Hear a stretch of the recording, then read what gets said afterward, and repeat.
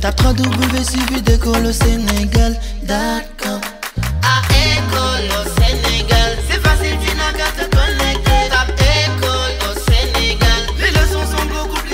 Bienvenue sur votre chaîne École au Sénégal, c'est Moussa Diallo, professeur de SVT. Aujourd'hui, nous allons traiter le cours sur, en réalité, la troisième leçon du programme de la classe de troisième intitulée Leçon composition et maladie. Leçon composition et maladie.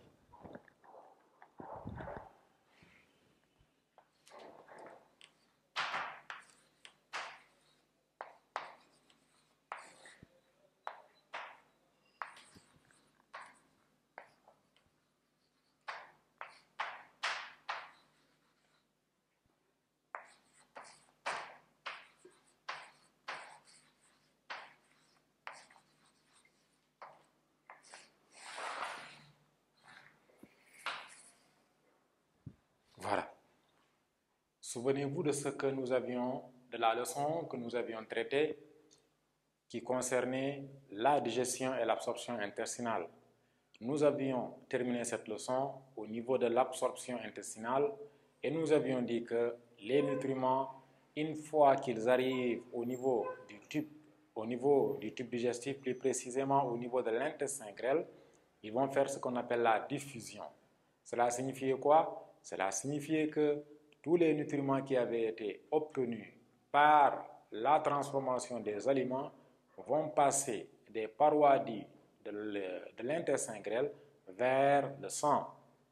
Donc, ce sera maintenant au sang, ils vont être pris en charge par le sang.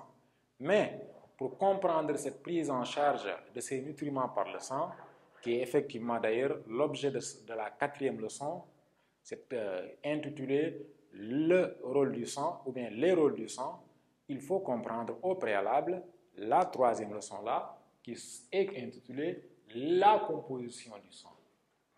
En effet, c'est quand tu connaîtras la composition du sang que tu seras capable de comprendre le rôle du sang et que tu pourras faire le lien entre les nutriments qui avaient été obtenus et en réalité le sang, leur prise en charge par le sang. Donc, au cours de cette leçon-là, nous allons voir deux parties. C'est l'une des leçons les plus courtes du programme. Donc, cette leçon-là est intitulée Composition, le sang, composition et maladie. Vous l'aurez compris, c'est les composantes du sang et les maladies du sang. Vous l'aurez compris, ce ne seront pas toutes les maladies du sang qu'on va traiter, mais on va en traiter simplement trois. Ce sont ces trois maladies-là qui sont au programme de la classe de quatrième. Donc, nous allons voir dans cette partie-là, en grand 1, nous allons voir en réalité, nous allons voir les composantes du sang. Les composantes du sang. En grand 2, nous allons voir quelques maladies, pour ne pas dire trois maladies du sang. Voilà. Donc, le sang à l'école primaire, on vous a dit que c'est un liquide de couleur rouge. C'est un, couleur un liquide de couleur rouge. Donc, à prime abord, si tu observes le sang, tu sembles penser que c'est un, une composition homogène en réalité, qui n'est composée que de, en réalité, que d'un liquide rouge. Mais dans la réalité des faits, le sang aura des composantes. Il sera composé en réalité d'un liquide qu'on va appeler le plasma et des éléments figurés.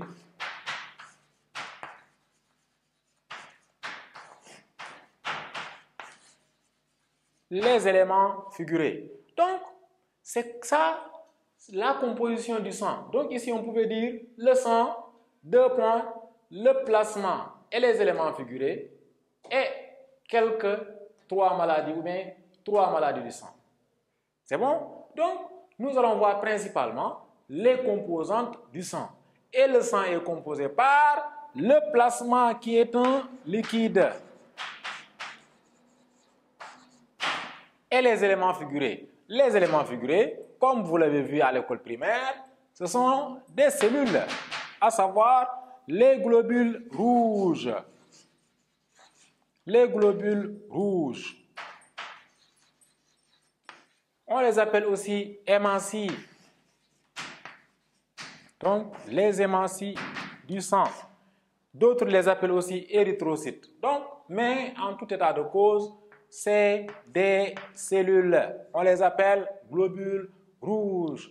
À côté des globules rouges, vous avez aussi d'autres catégories de cellules, à savoir les globules blancs. Les globules blancs. Les globules blancs sont également appelés leucocytes. Leucocytes. À côté de ces globules rouges et de ces globules blancs, qui sont les composantes les plus importantes des éléments figurés du sang, on a les, les plaquettes sanguines. Les plaquettes sanguines. Voilà. Donc, en grosso modo, voici les composantes du sang. Le sang est composé du plasma, qui est un liquide, et des éléments figurés, les globules blancs et enfin les plaquettes sanguines. Donc, chers élèves, voici les composantes du sang. En résumé, voici de quoi est composé notre sang. Les maladies que nous allons voir à ce niveau-là sont au nombre de trois, comme je l'ai dit. La première maladie dont on va étudier sera l'anémie.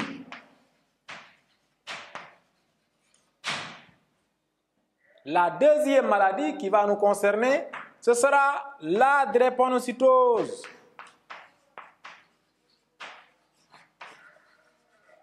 Et enfin, la troisième et dernière maladie dont on va voir, ce sera en réalité la leucémie. La leucémie. Mais suivez bien, ces maladies dont nous allons voir ont un lien étroit avec les composantes du sang. En effet, observez bien ici, vous voyez que l'anémie est en rapport et l'anémie et la drépanocytose sont en rapport avec les globules rouges.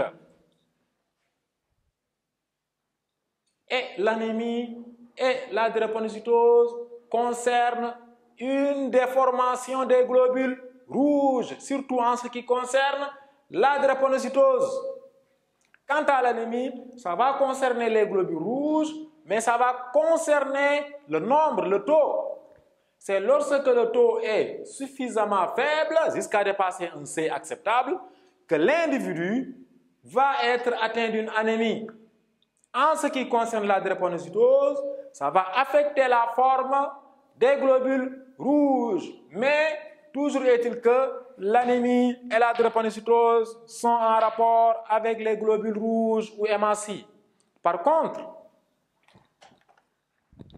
par contre, la leucémie, elle, elle va concerner les globules blancs.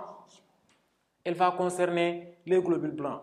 Elle ne va ni concerner en réalité un nombre insuffisant de globules blancs, encore moins la forme des globules blancs, mais plutôt elle va concerner ici une formation importante, quasiment excessive de globules blancs. Donc on dira qu'un individu atteint de leucémie lorsque sa quantité de globules blancs est supérieure à une valeur en réalité standard.